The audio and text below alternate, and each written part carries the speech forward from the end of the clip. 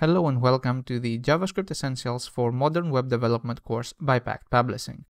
I am Dimitris Loukas and I will be guiding you through a course that will set you up for the complex needs of modern web development with JavaScript. In this video, I will present you the course material and everything you need to know to prepare for future videos. We will begin with a general introduction to some of the hardest parts of JavaScript, after some important theory and explanations about complicated topics like closures and the this keyword, we will move to explore ES 2019 and other new features that come to the language's specification.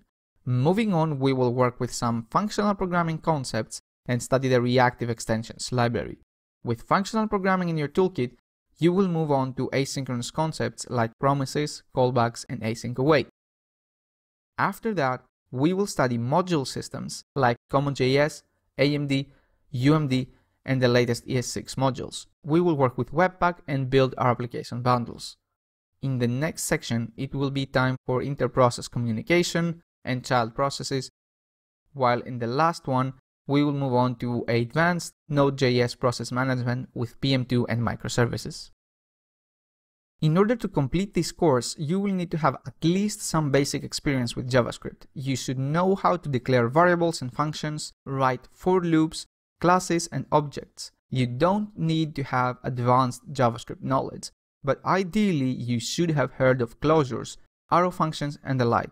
If you've had problems dealing with them in the past, even better.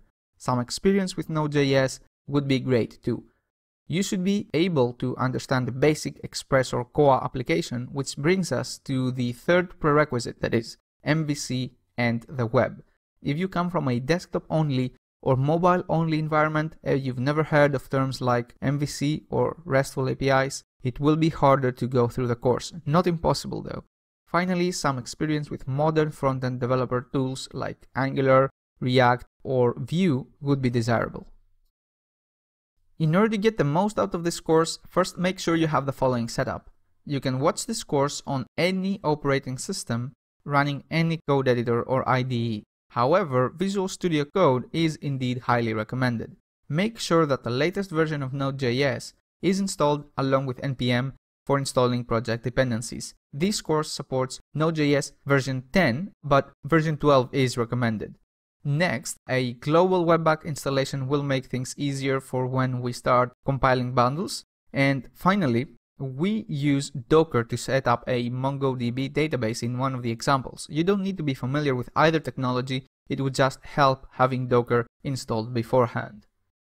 After finishing this course, you will have all the required knowledge to write and debug code fast due to deep understanding of the hardest parts of JavaScript you will be able to write elegant functional code with no side effects. And of course, you will be able to organize and build from scratch complex service-oriented web applications and even microservices. So let's get right into it.